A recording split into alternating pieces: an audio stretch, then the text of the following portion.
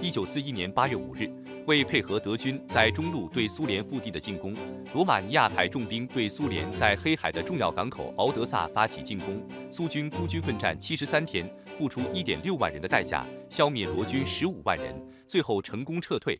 敖德萨最终落入罗马尼亚之手。但敖德萨战役仍可称为苏军的一场成功的防御战。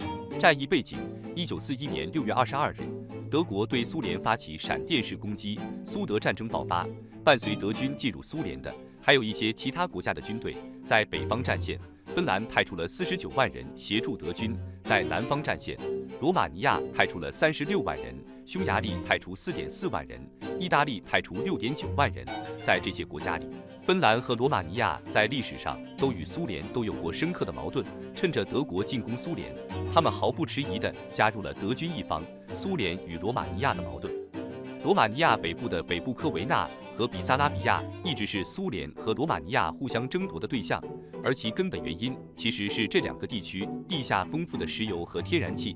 二战爆发以后，罗马尼亚为德国提供了大量燃油。苏联感觉必须趁早把这两个地方拿到手里。一九四零年六月，苏联大兵压境，要求罗马尼亚归还一战结束后划归罗马尼亚的比萨拉比亚，同时作为赔偿，还要把北部科维纳一并交给苏联。比萨拉比亚是一战结束后根据民族自觉加入罗马尼亚的，而北部科维纳本来就是罗马尼亚的领土。苏联显然是无理要求，但当时的罗马尼亚的国王卡罗尔二世对外政策十分软弱。不敢反抗苏联，不但完全同意了苏联的要求，还命令罗马尼亚在当地的驻军放弃抵抗，无条件撤出。这个事件使罗马尼亚国内人民情绪激愤，当时的罗马尼亚陆军大臣安东内斯库也极力表示反对安东内斯库的报复。一九四零年九月，安东内斯库就任罗马尼亚总参谋长，他强迫国王卡罗尔二世退位，并扶植卡罗尔二世的儿子米哈伊一世成为新国王。安东内斯库成为实际的掌权者。安东内斯库宣布自己为罗马尼亚的终身元首，迅速加入轴心国同盟，准备对苏联的一箭之仇展开报复。一九四一年，安东内斯库获知德国计划进攻苏联的消息后，主动要求派兵进攻苏联南部。一九四一年六月，德第十一集团军在罗马尼亚北部集结，德空军第四航空队飞抵罗马尼亚机场安东内斯库，组建了安东内斯库集团军群。包括第三点第四集团军，共十四个师和十个旅，进攻苏联的队伍准备就绪。罗马尼亚对苏宣战。一九四一年六月二十二日，德军对苏联不宣而战，在整个东部国境线上发起突然袭击。罗马尼亚也出动轰炸机对乌克兰和敖德萨进行空袭。六月二十三日，罗马尼亚对苏联宣战。兵分两路对苏联发起攻击，德国第十一集团军和罗马尼亚第三集团军渡过普鲁特河进入乌克兰，罗马尼亚第四集团军沿黑海海岸北上，目标直指敖德萨。苏军也迅速对罗马尼亚的进攻做出了回应，派出黑海舰队的巡洋舰和驱逐舰对罗马尼亚港口进行炮击，派出空军对罗马尼亚的产油区普洛耶什地进行空袭，试图切断罗马尼亚的燃油补给，使德军和罗军的战争机器无法开动。六月二十六日，黑海舰队在康斯坦察港炸毁了罗马尼亚的一座大型油库。七月十三日。苏空军在普洛耶什地炸毁二十九辆罗马尼亚油罐车，烧毁石油九千多吨。七月十八日，烧毁罗马尼亚两千多吨汽车燃油。在苏军持续不断的轰炸下，罗马尼亚的石油产量下降了百分之三十，以至于希特勒不得不抽调出一部分兵力，加强罗马尼亚的对空防御，进攻敖德萨。七月二十七日，希特勒任命安东内斯库为陆军元帅，命他带领罗马尼亚军队攻占敖德萨。敖德萨位于乌克兰南部，在德涅斯特河的黑海入海口以北三十公里处，是苏联在黑海的重要港口。黑海舰队在这里进行补给，苏联也通过这里从黑海向乌克兰运送兵力和物资。攻占了敖德萨以后，苏军在南部就无法对德军造成威胁，德军在中路的军队就可以放心的长驱直入，进犯位于苏联腹地的莫斯科。八月三日，罗马尼亚第四集团军由尼古拉伊。索皮卡中将指挥渡过德涅斯特河后，兵分两路对敖德萨发起两面夹击。罗马尼亚第一点、第三点、第七步兵师和第二坦克团从正面对敖德萨发起强攻，罗马尼亚第十五步兵师、第一装甲师。和第一骑兵旅绕到敖德萨以南，从侧面发起进攻。面对罗马尼亚军队咄咄逼人的攻势，为了牵制德军南方集团军群的侧翼，保障苏军南方面军和西南方面军的支援和补给，苏军最高统帅部命令苏军南方面军撤至齐吉林沃兹涅先斯克德涅斯特湾一线，组建敖德萨防区，下辖红军独立滨海集团军。黑海舰队敖德萨基地和民兵部队尽一切可能坚守敖德萨。敖德萨的十几万军民日夜赶工，在罗军到来之前，构建了二百五十多公里长的防御工事，包括纵横交错的战壕、密布的碉堡和坚固的反坦克阵地。亚历山德罗夫卡争夺战，八月五日，罗军从格里戈里奥波尔出发，向敖德萨方向推进。八月六日，罗马尼亚第一骑兵旅。突破苏军外围防线，攻占了亚历山德罗夫卡镇。苏军马上对这支孤军深入的骑兵旅发起反击。苏军首先派出了伊尔二强击机，对罗马尼亚第一骑兵旅造成了大量杀伤，很多战马被击中，躺在地上嘶鸣。而罗马尼亚骑兵们则躲在战马的尸体后射击。空袭过后，苏军步兵对罗军发起冲锋。展开了激烈的白刃战，苏军的刺刀和罗军的马刀敲击在一起，摩擦出火花和血光。下午，罗马尼亚第一装甲师赶到，苏军步兵抵挡不住，开始向后撤退。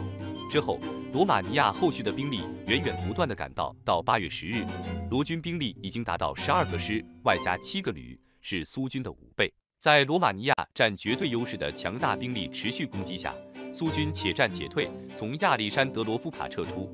移动到敖德萨外围防线地带米哈伊洛夫卡镇争夺战。八月十三日，罗军越过基里古尔湖，到达敖德萨东北海滨，将敖德萨与苏联南方面军的联系切断。敖德萨成为一座孤城。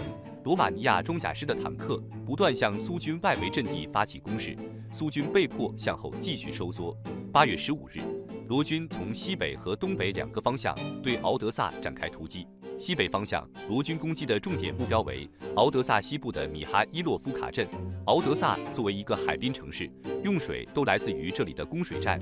一旦这里被夺取，苏军将失去淡水。苏军也清楚米哈伊洛夫卡镇的重要性，派出第九十五师密集的反坦克炮对付罗军第一装甲师第一装甲团的坦克。罗军的捷克制三五 T 轻型坦克装甲非常脆弱，很快被击毁了二十多辆，整个团基本被全歼。该坦克团的团长也在这次战斗中阵亡，失去坦克的支援，罗军步兵团几乎成了苏军的活靶子。苏军对着拼死冲进镇里的罗军扫射，一天之内，罗军损失了一半兵力，两名团长阵亡。最终，由于苏军兵力有限，为了避免太大的伤亡，撤出了米哈伊洛夫卡镇，罗军占领了供水站。此后，敖德萨的苏军和居民只能靠黑海舰队运来的淡水维持生命，守卫敖德萨市区。八月二十日，罗马尼亚集结剩下所有的军队，共十七个师，外加七个旅，开始对敖德萨市区发起进攻。八月二十四日，苏军的外围阵线已经被罗军全部突破，整个敖德萨市区都在罗军的重炮射程之内。在敖德萨失去的攻防战中，罗军的伤亡非常惨重，几乎每前进一米。都要付出成千上万战士的性命。敖德萨市内，苏军守军顽强抵抗，黑海舰队源源不断地给守军运来装备和弹药。市区内拖拉机厂的工人甚至把反坦克炮安装到拖拉机上，改装成简易坦克投入战斗。在苏军反坦克炮的轰击下，罗军的坦克举步维艰。到八月底，黑海舰队又运来了一个步兵师，一万两千六百人投入到了敖德萨的守卫中。罗军几个师轮番上阵，发现苏军的炮弹打不完，士兵也打不完。罗军不仅伤亡惨重，精神上也受到极大的打击。罗军封锁港口，罗军终于发现了苏军源源不断的运输线，开始以持续不断的炮火和空袭封锁港口，阻止黑海舰队靠近。苏军再不能得到黑海舰队的补给，敖德萨城内的军民开始展开自救。市内的二十多家工厂开始想办法生产军用物资。在整个敖德萨战役期间，敖德萨各个工厂的工人们为苏联红军提供了三辆装甲列车、二百门八十二毫米迫击炮、一千余门五十毫米迫击炮、一千零二十二个战壕投掷火箭、二十一万枚手榴弹、三万枚反坦克和反步兵地雷，以及大量的燃烧瓶。野战电话、电缆等。九月十五日、十六日，德国空军和罗马尼亚空军联合出动，大量轰炸机飞临港口上空，给苏联黑海舰队以致命打击，苏军的驱逐舰、炮艇、拖船、运输舰纷纷被击中。敖德萨反击战。九月十九日，黑海舰队冲破罗军的炮火，将苏军步兵第一百五十七师运到敖德萨。九月二十二日，苏空军将一支伞兵部队输送到罗军后方。同时，黑海舰队第三海军陆战团绕到罗军侧翼登陆。敖德萨市内的苏军第四百二十一和第一百五十七师也对罗军展开反击。对敖德萨东北方向的罗军形成包围，在黑海舰队炮火的支援下，苏军对罗军造成极大杀伤，罗军两个师被击溃，其余部队后退八公里才勉强稳定住战线。这场反击战，罗军损失了两千余人，苏军仅伤亡四百多人。罗马尼亚军队经过一个多月的战斗，损失了大量士兵和装备，一些队伍不成建制，很多士兵都精疲力尽，不得不进行休整，安全撤退。在此期间，苏军与德军在基辅方向的战斗也已经结束。德军渡过第聂伯河，向克里米亚半岛推进，敖德萨彻底成为敌后的一座孤岛。九月三十日，苏军统帅部决定放弃敖德萨，黑海舰队开始准备撤退计划。十月一十四日，黑海舰队出动了二百八十一航次，将八点六万部队和一点五万居民运到克里米亚半岛，其中还包括大量坦克。装甲车、火炮、汽车、战马等。十月十二日，罗军又对敖德萨发起一次总攻。这时，敖德萨剩下的苏军部队已经不多。为了不让罗军发现苏军正在撤退的事实，苏军士兵们与罗军进行了激烈的巷战。每一栋建筑和每一间屋子里都留下了罗军的尸体。十月十五日，全部苏军退守至敖德萨港口。直到这时，罗军仍未发现苏军正在撤退。反而因为惨重的损失而震惊不已。十月十五日夜间，黑海舰队把所有能用的巡洋舰、驱逐舰、炮艇、布雷舰、运输船都用上，将殿后的三点五万守军全部撤出。十月十六日，苏军留下最后一个排作为掩护，其他所有守军和居民全部撤离完毕。下午四点。敖德萨最后一寸土地被罗军占领，苏军留下掩护的一个排战斗到最后全部牺牲。战役结果，整个敖德萨战役，苏军在敌军后方孤军奋战七十三天，阵亡一万六千五百七十八人，消灭罗军十五万人，给对手沉重打击。成功且及时的撤退，也保留了滨海集团军的实力。有效支援了苏联南方面军的作战，是一次成功的防御战。但是由于敖德萨的陷落，德军也切断了黑海和乌克兰的联系，顺利占领了整个乌克兰。